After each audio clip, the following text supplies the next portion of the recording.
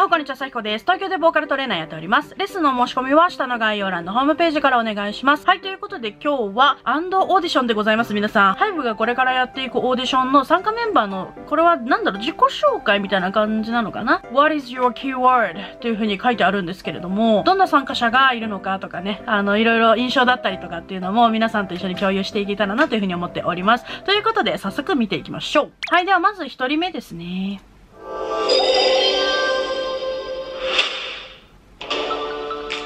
ちは僕はウイジュ19歳ですウイジュって聞こえるんだけど、ごめんなさい、私、ちょっと、はっきりなんか全員の名前さ、あれなんだよね。どんな読み方するかとか確認してなかったんだけど。まあ、でも、EJ 君でいいんだよね。え、てか、日本語上手。今から僕の紹介を始めますかわいいんだけど。え、そうだよね。日本語なんだよね。フールで皆さん放送されるらしいです。はい。お楽しみにっていう感じなんだけど、これはだからね、日本人のね、K-POP ファンめちゃくちゃ楽しめるんじゃないかな。すごい、いっぱいある。待って。20個のキーワードから自分を代表するキーワードを選択。そのキーワードから自分の魅力について語ると。なるほど。なるほどね。いろいろあるね。みんなだったらどれかコメントください。お願いします。ギャップ萌え。 제가 선택한 첫 번째 키워드는 반전 매력인데요 パンジャン魅力。あー、なるほど。反対の魅力っていう風に言うんですね。ギャップ萌えっていうのはね。ギャップ萌えってだからすごい単語だよね、なんかね。うん。日本語って難しいね。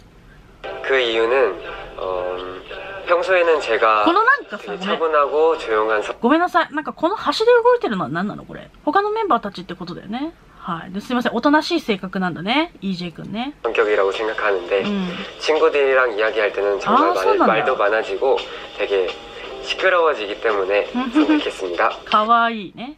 ちょっと人見知りなのかなだからね。うん。あ、コミュ力。え、 두 人見知りじゃないじゃん 번째로 。 선택한 키워드는 소통력인데요 제가 다른 사람이랑 이야기하는 것도 되게 좋아하고 まあだから、ちょっと印象と違うっていう感じか。あの、第一印象とちょっと違いますよっていう感じやな。 또 어, 생각을 나누는 걸 되게 좋아해서 うん。 요즘은 멤버들이랑 가장 많이 이야기하고 있습니다. この、仲良さそうだよね、なんかね。もはや。割と人数も少ないから、すごいそういう人間関係っていうところもね、誰と仲いいんだろうとかっていうの面白そうよね。 かわ 제가 いい 세 。 번째로 선택한 키워드는 귀여움인데요. 器用民でよ。 주변에서 되게 귀엽다고 이야기 마을의人が 可愛がってんだよね 선택했습니다. あいほー 여러분이 다 この微妙な間があったよね。今0.5秒ぐらい微妙な間があったんだけど、これがたまらないんですか皆さんどうですか 귀여우신가요? ねえ、なん器用よ。 네 번째로 선택한 키워드는 음. 리액션인데요. リアクション。 음. 되게 다른 사람의 이야기를 들을 때 음. 되게 습관적으로 리액션을 하는 부분이 있어서 うん。 네, 리액션을 선택했습니다. かわいいね。そんだけスニーラ。韓国語ってさ、かわいいよね。 그리고 다섯 번째로 선택한 키워드는 음. 청량함인데요. 爽やか。 어, 제 스스로 청량한 그런 모습이 어울린다고 음. 생각해서 まあ、 선택했습니다. まずブルーが似合う時点で爽やかだよね。うん。 아이고 귀여워. 어떡해. 네. 안돼うるせえうるさいこのテンション感でいくよ今日はかわいいよ素敵 네. 제가 다음으로 선택한 키워드는 성실함인데요. 나이지. 어, 항상 어, 주변 사람들이 저에게 음. 의주는 성실하기 때문에 음. 어떤 것을 하더라도 잘할 수 있을 것 같다고 말씀해 주셔서 저도 뭐든지 성실하게 잘 해낼 수 있을 것 같은 자신감이 있기 때문에 誠実って大事よね。特にこうオーディション番組ってなってくると、いかにステージに対して、音楽に対して、歌に対して、ダンスに対して誠実であるか、切実であるか、そういうところがやっぱりこう見られるからね。うん、そしてこうファンに対して誠実かどうかっていうね、そこも大きいよね。 선택한 키워드입니다. 楽しみですね。冷静。 그리고 다음으로 선택한 키워드는 침착함인데요. 沈着仮面で。 평소에 되게 조용하고 ちょっとなんかこの周りの人たちの冷静のイメージがちょっと笑えるんだよね。ごめんなさい。すいません。う 차분한 성격이어서 음. 침착하다는 말을 많이 들었습니다. ーん。 그리고 그 다음으로 선택한 키워드는 활발함인데요. 元気です。 제가 大事よ。やっぱ元気である人見たいから。うん。 잘 웃고 밝은 모습이 네. 음, 주변 사람들을 웃게 만드는 매력이 있는 素 것 敵な笑顔を 같아서 見せてほしいです 선택했습니다. ね。 僕の紹介は以上です。かわい。いこれから皆さんにいろんな魅力を見せられるように頑張りたいと思います。ねえ。2つにだ。よろしくお願いします。よろしくお願いします。かわい。いちょっといいんじゃないの？幸先いいですよ。続いて。こんにちは。僕はゆうま18歳です。ゆうまくん。今から僕の紹介を始めたいと思います。日本人の子かな？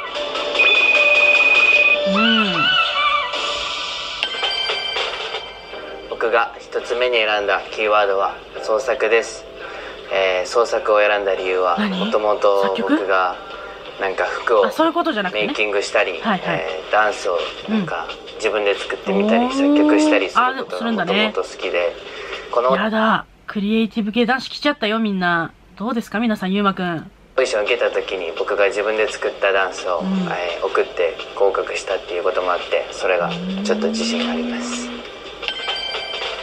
2つ目に選んだ、えーキーワードはギャップ萌えですギャップ萌え多いね。みんなやっぱ、ど、まあ、一つもはさ、ギャップ皆さんありますからね。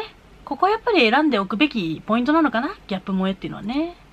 ギャップ萌えは実はこう見えて、うんコミュニケーション能力がありそうで、うん実はすごい恥ずか恥ずしがり屋でかしがり屋なんですよ、皆さん。ゆうまくん。恥ずかしがり屋です。かわいいね。なんか最初になかなか自分から話しかけに行くこととかうんできなかったりわかるするとこ。ろ、それは私もそう。私もそう、割と恥ずかしがり屋なタイプなので。そうなんですよ。最初がね、やっぱ難しいんだよね。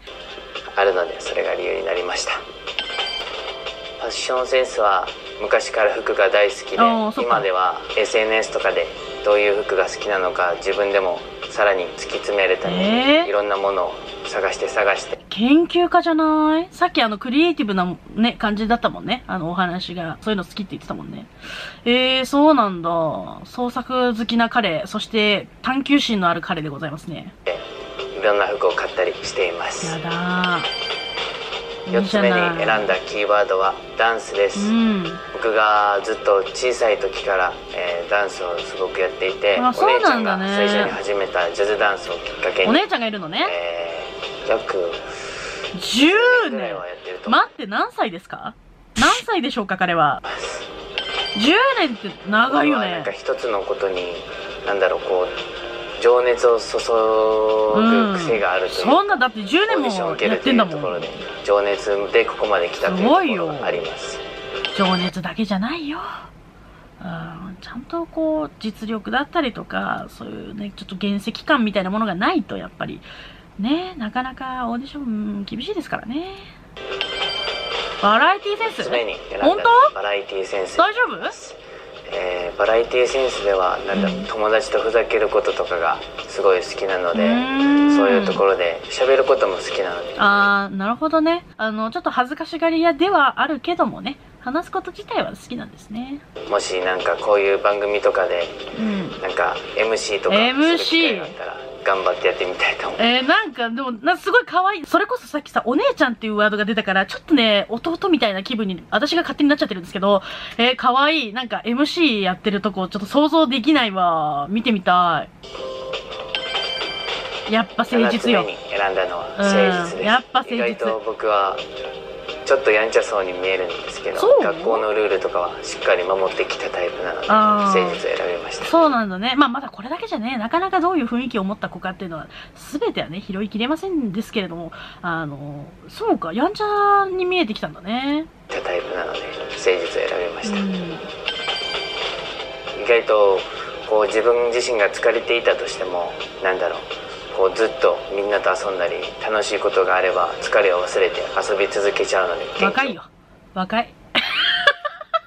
若いんだよ、それは。うーん、最高だね。選びましたうん。僕の紹介は以上になりますありがとうございます。えーこれから僕の姿を見せれる機会がたくさん与えられたということで、うんいい姿を見せれるように頑張っていきたいと思います楽しみ。よろしくお願いしますお願いします。いや、めちゃくちゃいいじゃん、ちょっと。ゆうまくんね、お姉ちゃんがいるっていうところで、ちょっと私もね、弟がいるのでね、ちょっと弟気分で見ちゃいますね。はい、で、続いていきましょうか。こんにちは。僕の名前は滝です。やだー滝くん17歳です待って、17歳なの？滝くんって。アイランドの時何歳だった？め、あ、でも確かにめっちゃ応募濃かったもんな。ちょっとやだ、大人の男みたいになってるじゃん。また首が太い方ですね、彼ね。えー、滝くん。滝くんは知ってます？さすがに。うん。これから自己紹介を始めていきたいと思いますよろしくお願いしますお願いします。口角上がってんだよね、滝くんね。いいね。えー、なんだろう。と僕がまず最初に選ばせてもらったのはダンスなんですけど、うん。まず理由はもともとロックダンス、んヒップホップ k p o p で最近は舞踊とかもやらせてもらってて、結構いろんなジャンルとかをやるのが大好きで、まあ、結構ダンスをしてると楽しくなるというか結構幸せになれるのでうん選ばせてもらいました、ね、可愛いんだけど、大丈夫？みんな。ここまで大丈夫？リアクション。2個目は。リアクションなんですけど僕が結構他の人が言ったことに対してうん結構なん笑っちゃったりとか,、うか簡潔に言うとなんか結構ツボが浅いっていうんですか？ねん。最高最高最高。うん。ツボがさるの大事よ。うん。リアクションが大きいのも大事。特にまたオーディション番組とかってなってくると、どれだけこう抜かれるかっていうね、カメラにね。で、そういうとこでやっぱりね、リアクションが大きい人っていうのはね、やっぱりこう取り上げられたりするので大事だよね。大きいので選ばせてもらいましたうん。緊張してる？すごい今後半息入ってたけど、緊張してるのかな？バラエティセンスなんですけどうん。僕が結構周りの人からも面白いとか言われたり。なんか何もしてないなんか見てて面白いとか、うん笑顔になれるって言われるのがいい意味で嬉しくてナチュラル面白いね。なるほどね。大事よねても。らったんですけど、まあ、自分でもなんか少しあるのかなと いや、そこできる？ちょっと待って。え？思ってますまで言わせてあげてよ。ちょっと。あるのかなと どうしたの？可愛さいや可愛い可愛い可愛いっていうのはなんか正直最近はなんか、うん。あんまりまだ僕自身は分かってないことがあって本当に？まあでも男の子って別に可愛いって言われても嬉しくないとか言うよね。何可愛いってみたいな。そういう人もいらっしゃると思いますけどね。周りの人からちょっと言われてたりしてたんですけど、うん可愛いよ。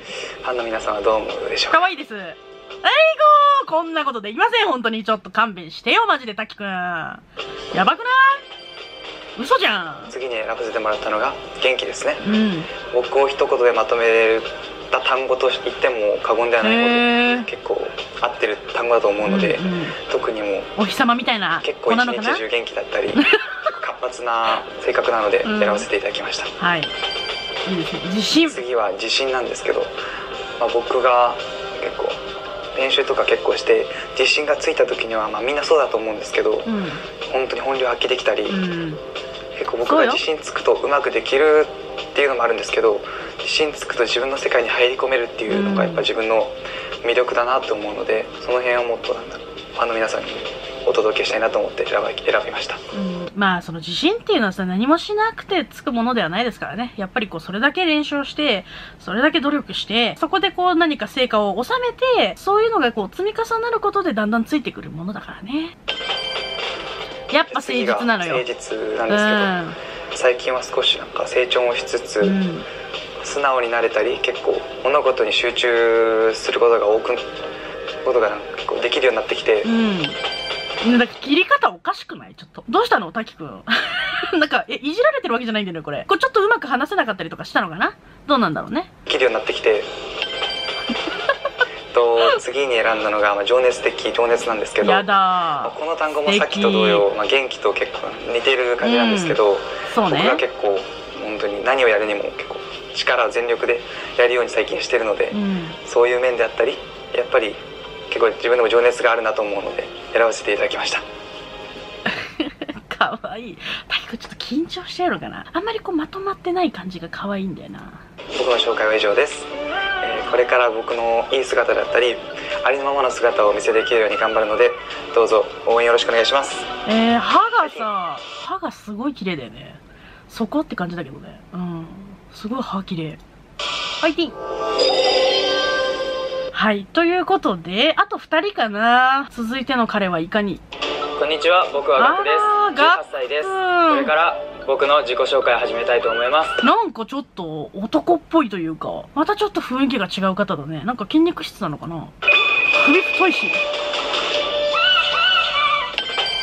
歌僕僕は小さい頃からうん。家族の前で一人で自己満足でコンサートを開いてたことがあるのでこれからどんどん上手くなって皆さんに僕の歌声を届けられるように頑張りたいと思います、うん。日本人だよねこの子はね。ダンスの振り付けを作ったりといろいろ頭の中で、えー想像してストーリーを作ったりするのが好きです。